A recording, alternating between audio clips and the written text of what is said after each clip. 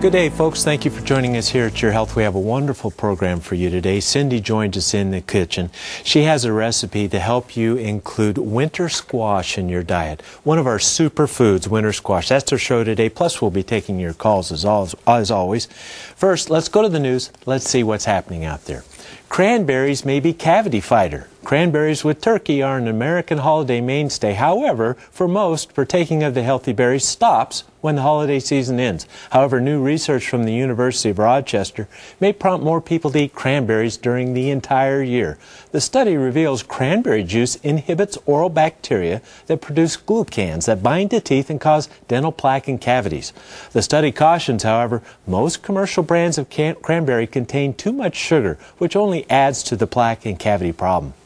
This is fascinating, folks. See, Plaque and cavities are formed by the growth and acid production by a bacteria called Streptococcus mutans that grows in our mouth, see? And what the scientists are saying is that cranberries prevent this strep mutans from adhering to dental surfaces, so they can't make plaque that leads to cavities.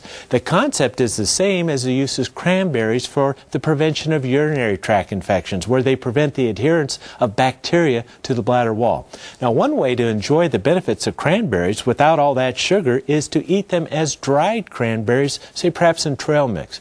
Dried cranberries look just like raisins, only they're bright red. Very tasty. Try it sometime. Decaf may raise LDL levels. Drinking decaffeinated coffee may raise the risk of cardiovascular disease more than regular coffee, discovers a Fuqua Heart Center study of 187 people. Researchers found drinking three to six cups of decaf coffee daily leads to a significant increase in free fatty acids, which in turn leads to an increase in LDL cholesterol and apolipoprotein B, both known risk factors for cardiovascular disease. Researchers also found drinking more than three to six cups of regular caffeinated coffee daily raised the study's blood pressure while decaf did not.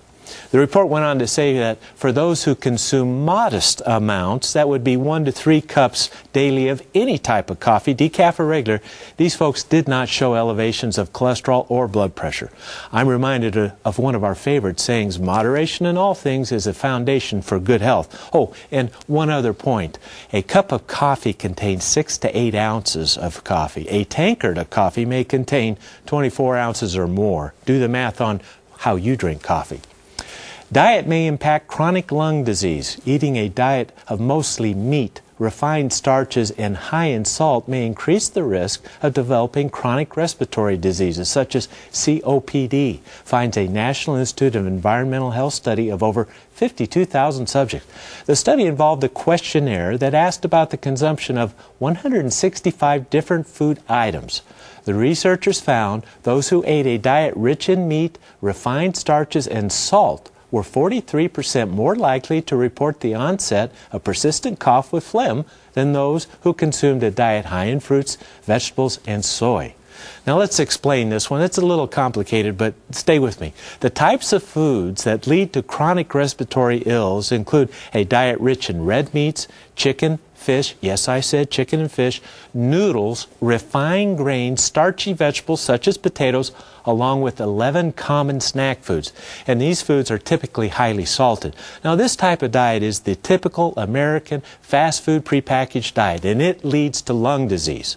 Now, the type of diet that protects from lung disease includes a variety of fruits and vegetables, legumes, including soy, poultry, fish, along with whole grains. Now, here's the bottom line all those details. For all of you with lung conditions or want to avoid them, all types of meat, including chicken and fish, are okay, but only if your diet is rich in fruits and vegetables, whole grains, and low in salt.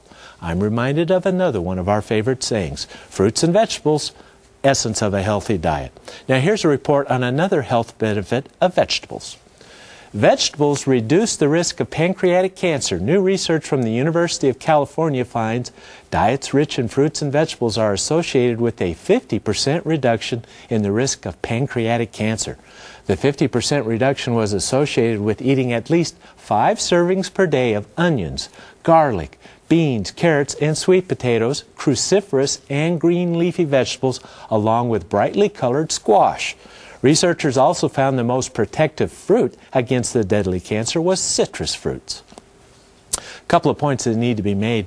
You know, the cancer protection effect of fruits and vegetables comes from fresh fruits and vegetables, not canned. Also, the study defined one serving as veggies as one half a cup, one serving of green leafy vegetables as two cups, and one serving of fruit as one medium sized piece of fruit.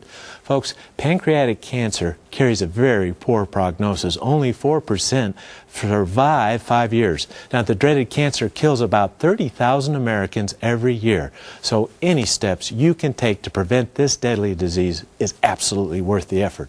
Of interest, the study found that squash is one of the super veggies in preventing pancreatic cancer. Squash the often overlooked vegetables. I recommend you include more of it in your diet. Today on Your Health, Cindy joined us in the kitchen. She has a great recipe for winter squash. This is delicious and nutritious. Join us for this one on Your Health.